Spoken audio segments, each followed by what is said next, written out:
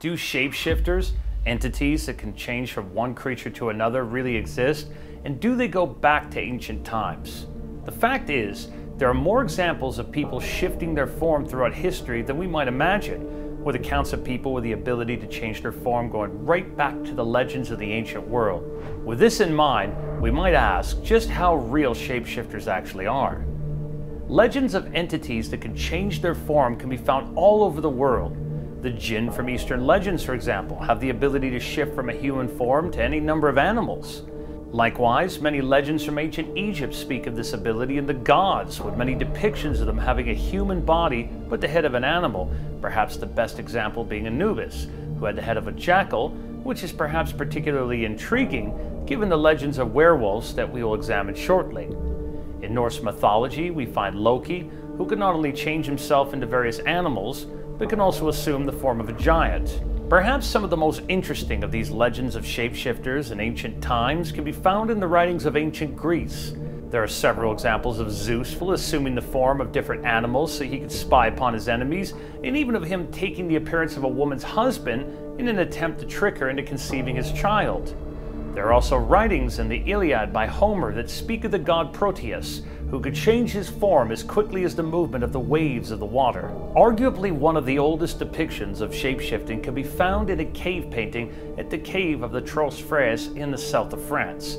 The painting itself, named The Sorcerer, dates back to approximately 13,000 BC, making it around 15,000 years old. It depicts a strange creature that has the features of both a human and an animal. Not only that, the form and positioning of the figure give the impression that it is a flux, essentially, that it is metamorphosizing or shapeshifting from one creature to another.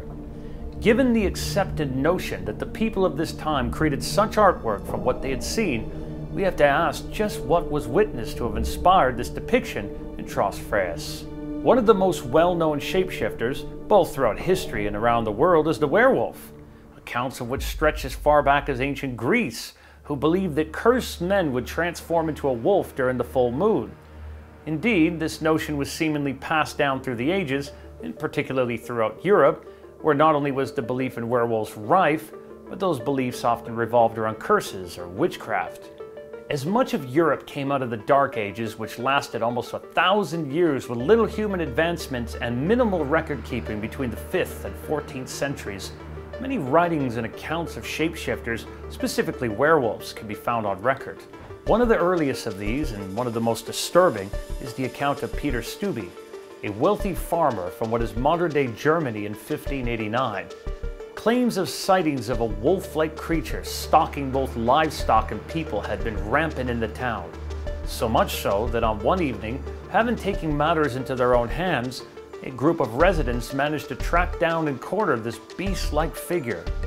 However, when the mob closed in, the wolfman was no longer there. Instead, there lay Peter Stubbe.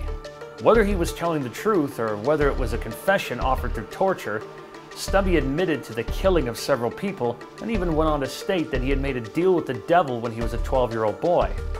As part of this deal, Stubbe was given a strange belt that gave him the power to change his form into a wolf. Stubbe, incidentally, was executed shortly after his confession. What is perhaps interesting about Stubbe's claims of being given a strange belt are the legends of a wolf strap, which is found in many werewolf accounts. And what's more, many of these accounts state this wolf strap is given to those who have sold their soul to the devil. One particularly interesting incident, which very similar to that of Peter Stubby, comes from Russia around the same time. According to the account, residents of an unnamed village were becoming increasingly suspicious of a man who lived alone on the outskirts of the settlement, not least because of the strange, animal-like tracks often seen outside his home, a home, incidentally, that he rarely left. One evening, several of the villagers decided to hide inside the strange man's house after he had seemingly left for the evening. However, a sudden howling sound sent them scurrying out of the abode in fright. As they left, they noticed fresh animal-like tracks in the ground leading from the man's house.